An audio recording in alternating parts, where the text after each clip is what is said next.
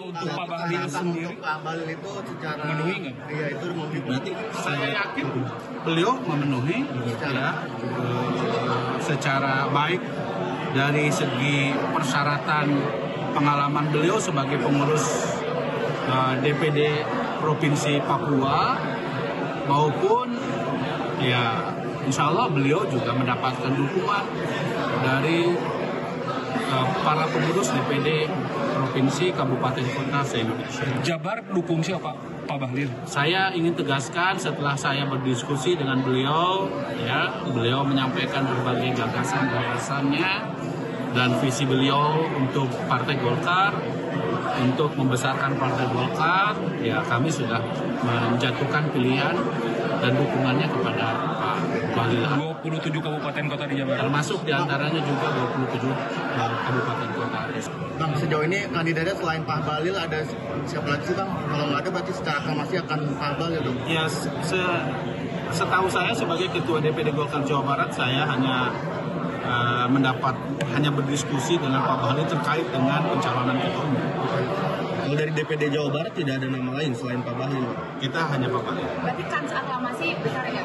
Ya, saya kira sangat terbuka ya untuk dilakukan. Lebih tepatnya sesungguhnya dalam musyawarah mufakat.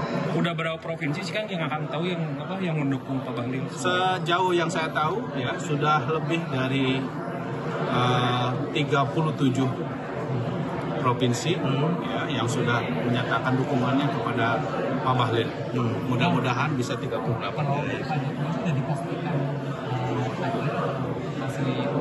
Ya kita kan baru mengirimkan undangan, tentu soal kehadiran kan dikembalikan kepada beliau. Aceh untuk posisi sekjen nanti Waduh, nanti apakah di Munas juga akan dibahas atau kita belum tahu, kan munasnya aja belum.